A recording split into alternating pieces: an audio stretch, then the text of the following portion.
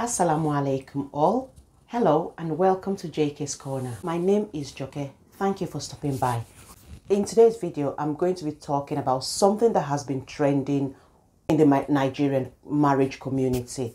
Unfortunately, again, we are talking about domestic violence, domestic abuse. If a woman gets married and then she chooses to leave that marriage for whatever reason, it can't have been an easy decision for her to make. The people who condemn a woman for leaving her marriage are also the people who will condemn a woman if she dies in that marriage because her husband beat her to death. While doing my research for this video, I came across, I knew the word would, exist, would exist, but I didn't know what it was called when a husband kills a woman, uh, kills his wife. Uxoricide which is when the husband kills the wife. Unfortunately, that is more common than wives killing their husbands. So why do, I have never I knew it would exist, but I've never heard the word uxoricide. It is a shame in this day and age women are staying in marriages and praying and hoping that their husband change from a wife beater to a wife lover. It is very sad. A divorced woman is far better to her kids and her friends and family than a dead wife. No matter what people are going to say, you need your sanity, you need to be there for your children, and you need to set a good example for your children.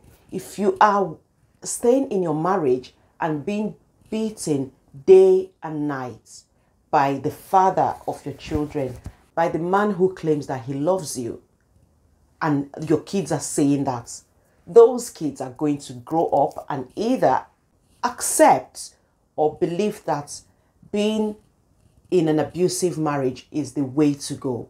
And they would end, they may end up being with his wife beater, or maybe they would become a wife beater, or vice versa. They could, as much as you, this woman, are thinking your husband will change and staying in that marriage, your children are watching your move. They think what you're showing them is the way to be married, and they would in turn do that when they get older. Let us please break the generational curse that is affecting many Nigerian homes. Nobody should be in a marriage where your husband raises his hands and beat you. Not only his hands, I mean, the recent occurrence in the media now, we saw where this man was using an iron to hit his wife on the head. Whether it's the same person or not, I don't know, but that video is there. And this is the reason I'm choosing not to name this woman who unfortunately died. She died on the 8th of April allegedly at the hands of her, her abusive husband.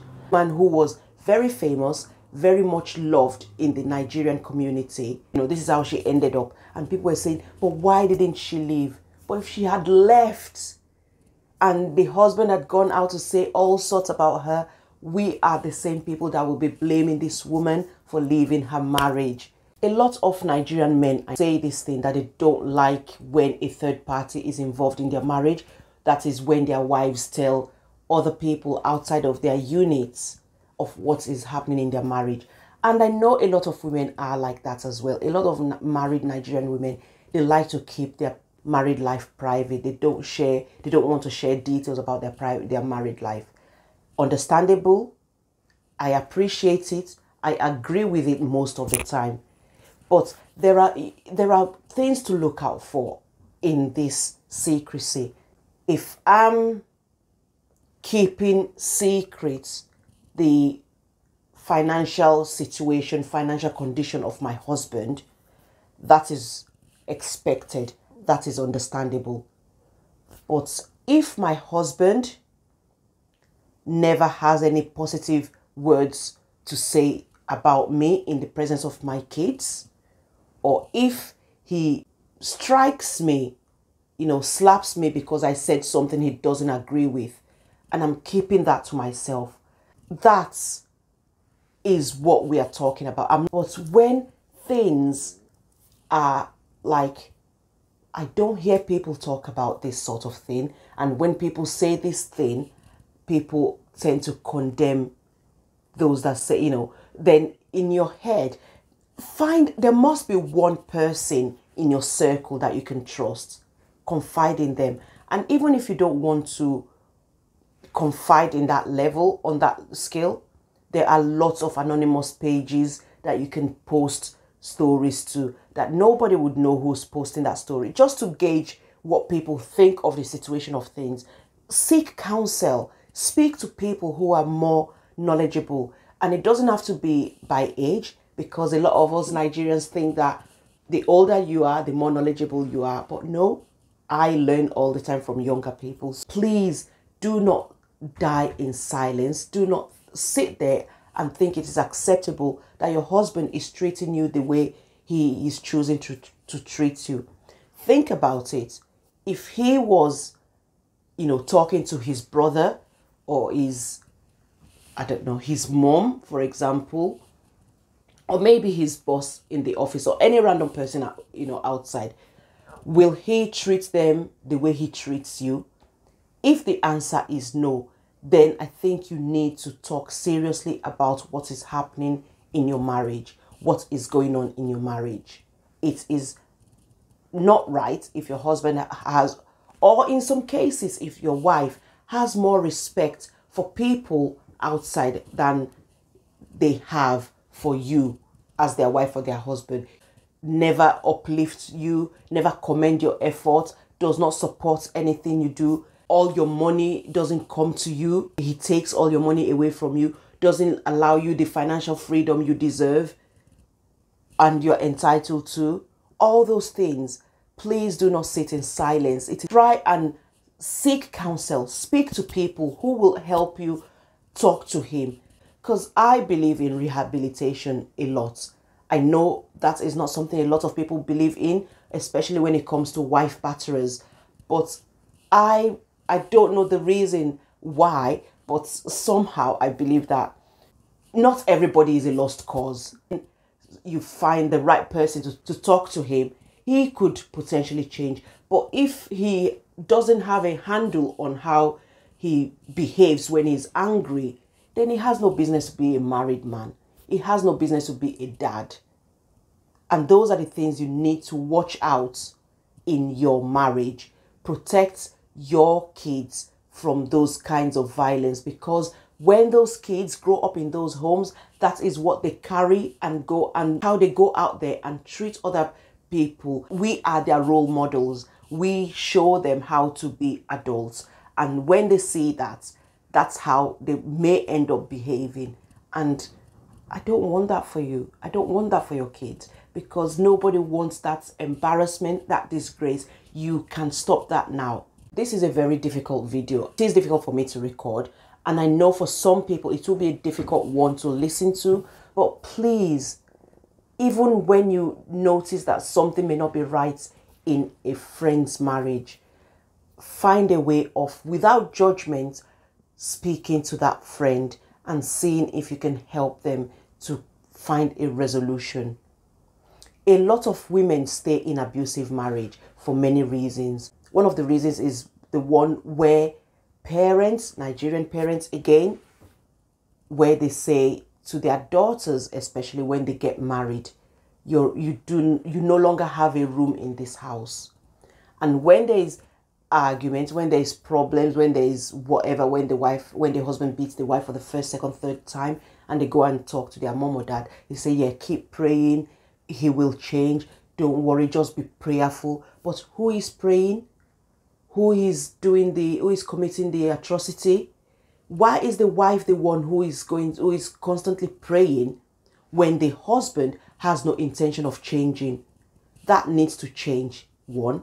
So if the man is willing to make amends, then yes, you can advise the woman to give the man a second chance and see and hope that you know with prayers that he will change. But if you're not talking to him to pray you're talking to the wife to keep praying and this husband keep beating her up then nothing's going to change.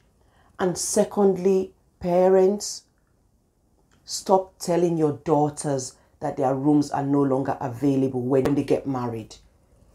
Let them know they will always be welcome home no matter what. Marriage is great, it's amazing, it's it's very much loved by Allah subhanahu wa ta'ala, but it isn't a do or die affair. Nobody should go into marriage and be in a worse mental situation than they were before they got married. Your marriage should be serving you in a positive and happy way.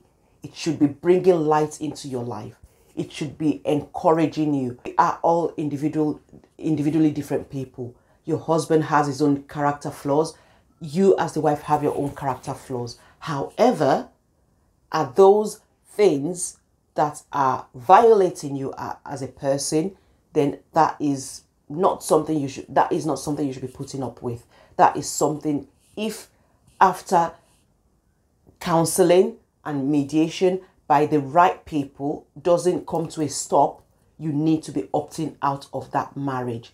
If your marriage is affecting your sanity, your well being, your spiritual life, your mental well being, your physical well being, and you have tried to resolve this, your, your husband, you should speak, you should be able to speak to your husband. If he doesn't listen about these things and you are not able to come to a resolution, then that marriage is not serving you. Please get out. Your kids should not be seeing you being battered day in, day out by their dad. Your kids do not have to be saying that. It's not a sight for any child to be saying. Your kids should not be coming in between you and your husband to try to separate your, you know, to try to stop him from attacking you. Your children should not be seeing you constantly crying, constantly unhappy, all in the name of I am Mrs. Somebody. Please, for the sake of your children and for the sake of your mental well being, no matter how much we think things will improve, it chips away at our mental well being. And that is not the right way to be. So, for the sake of your mental well being, for the sake of your children, please opt out of that marriage if it's no longer serving you in your spiritual life, in your just everyday life. You should not be enduring that sort of abuse from your husband. Nobody needs to be killed by the person who stood in the presence of God, family, and friends and declared to honor and respect. Please do not let the death come from the hands of the one you lay in bed with at night. This is a very hard hitting video, but under the present things happening in the Nigerian marriage community, it needed to be done. And I, I hope you have taken one or two lessons. Please, I'm talking to me in the first instance, and you too. Let us be less judgmental of women who choose to leave a marriage. It doesn't even have to be for the sake of domestic violence. It could be just because they do not want to be in that marriage anymore. It is their right to leave that marriage. Yes, try everything you can to make the marriage work. But if for whatever reason it's not working, then allow alam. Whatever will be, will be. You know, the less we judge people, the easier it becomes for people to talk when things aren't going right. Because a lot of people expressed shock. I did not know she was going through this. I did not know she was going through that. I can't believe that she stayed in that marriage while she was being battered day in, day out until she died. She probably did because you and I would have judged her if she left that marriage. Please don't forget to click on the like button and subscribe to my channel. And I'll leave you with this final saying. It is only a mother who is alive that will experience the joys of being the mother of a bride, the mother of the groom, grandmother, great grandmother, and see your children achieve other adulting milestones. So, if for nothing else, because I know a lot of us do most of the things we do in this life for the sake of our children, if for nothing else at all, for the sake of your children, please do yourself a favor. Forget whatever society will say. leave that marriage if it is abusive and you have spoken to everybody that you need to speak to and nothing stops, nothing changes. Please do not die in that marriage. Assalamu alaikum warahmatullahi wabarakatuh. Thank you very much for watching this video today. I will see you in my next video. Bye bye.